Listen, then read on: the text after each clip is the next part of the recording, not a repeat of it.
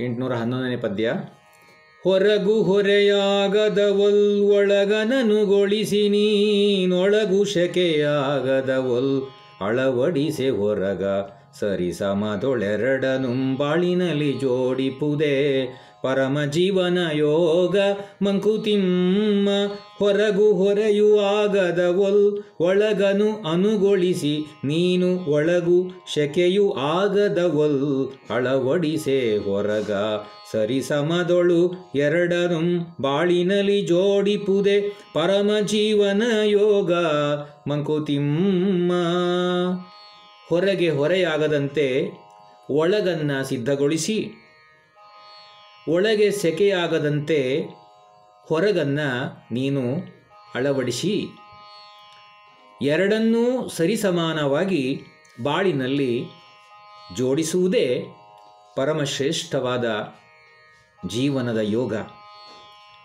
ಅಳಬೇಕು, ನಗಬೇಕು, ಸಮತೆ, ಶಮವಿರಬೇಕು ಹೊಳೆಯ ನೆರೆವಲು ಹೃದಯ ರಸ ಹರಿಯಬೇಕು. ಅಲೆಯಿನಲುಗದ ಬಂಡೆಯ ಒಲಾತ್ಮವಿರಬೇಕು. ತಿಳಿದವರ ಚರಿತವದು ಮಂಕುತಿಮ್ಮ. ಅಳಬೇಕು, ನಗಬೇಕು, ಸಮತೆ, ಶಮವು ಇರಬೇಕು. ಒಳೆಯ ನೆರೆವಲು, ಹೃದಯ ರಸ ಹರಿಯಬೇಕು.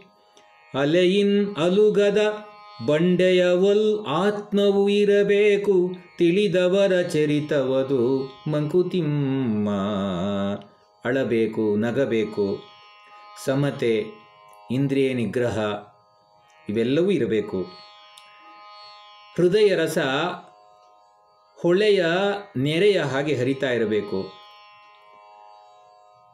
ಅಲೆಯಿಂದ ಅಲುಗದೇ ಇರುವಂತಹ ಬಂಡೆಯ ಹಾಗೆ ಆತ್ಮ ಇರಬೇಕು. ಚೆನ್ನಾಗಿ ತಿಳಿದವರ ನಡವಳಿಕೆ ಇದು. ಬಿಟ್ಟೆನೆಲ್ಲವನೆಂಬ ಹೃದಯ ಶೋಷಣೆ ಬೇಡ. ಕಟ್ಟಿಕೊಳ್ಳುವ ಶಿರಪೀಡೆಯುಂ ಬೇಡ. ತೊಟ್ಟು ನಿರಹಂಕೃತಿಯ ಕವಚವನು ನೀಂ ಪೋರು.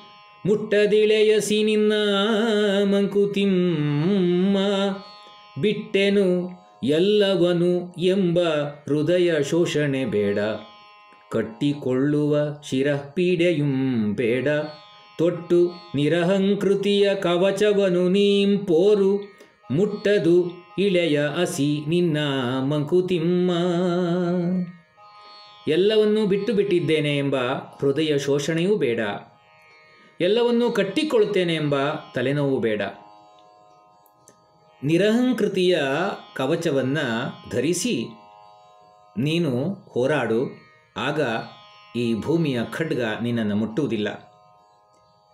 ನ್ಯಾಯಾಧಿಪತಿ ತನ್ನ ಮತಿ ಮನಸ್ಸುಗಳನ್ನೆಲ್ಲ ಸ್ವೀಯ ಲಾಭ ಸ್ಮರಣೆಯುಳಿದು ವಿವಧಿಗಳಾದಾಯ ನಿರ್ಣಯಕ್ಕೆ ಯೋಜಿಸುವಂತೆ ನೀಂ ಜಗದ ಶ್ರೇಯಸ್ಸಿಗುಜ್ಜುಗಿಸು ಮಂಕುತಿಮ್ಮ ನ್ಯಾಯಾಧಿಪತಿ ತನ್ನ ಮತಿ ಮನಸ್ಸುಗಳನ್ನು ಎಲ್ಲ ಸ್ವೀಯ ಲಾಭ ಸ್ಮರಣೆಯ ಉಳಿದು ವಿವಧಿಗಳ ಆದಾಯ ನಿರ್ಣಯಕ್ಕೆ ಯೋಜಿಸುವಂತೆ ನೀಂ ಜಗದ ಶ್ರೇಯಸ್ಸಿಗೆ ಉಜ್ಜುಗಿಸು ಮಂಕುತಿಮ್ಮ.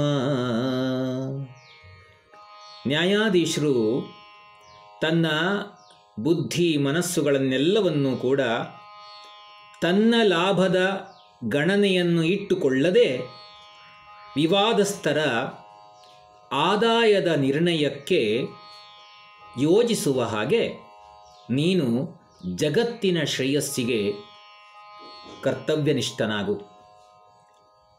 ಪೌರುಷಾಶ್ವಕಾಶೆ ಛಾಟಿ ಭಯ ಕಡಿವಾಣ ಹಾರಾಟವದರದ ವೇಧೆಗಳ ನಡುವೆ ಧೀರನೇರಿರೆ ಹೊಡೆತ ಕಡಿತವಿಲ್ಲದೆ ಗುರಿಗೆ ಸಾರುವುದು ನೈಜದಿಮ್ಮಂಕುತಿಮ್ಮ ಪೌರುಷಾಶ್ವಕ್ಕೆ ಆಶೆ ಛಾಟಿ ಭಯ ಕಡಿವಾಣ.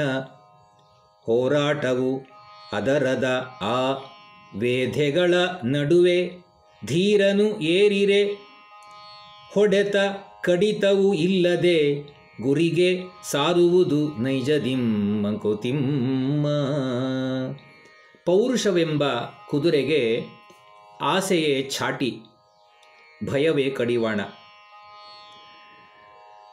ಆ ಕುದುರೆ ಈ ನೋವುಗಳ ನಡುವೆ ಹಾರಾಡುತ್ತೆ. ಧೀರನಾದವನು ಈ ಅಶ್ವವನ್ನು ಏರಿದರೆ ಹೊಡೆತ, ಚುಚ್ಚುವಿಕೆ, ಇದ್ಯಾವುದೂ ಇಲ್ಲದೇನೆ ಸ್ವಾಭಾವಿಕವಾಗಿ ತನ್ನ ಗುರಿಯನ್ನು ಸೇರಿಬಿಡುತ್ತೆ.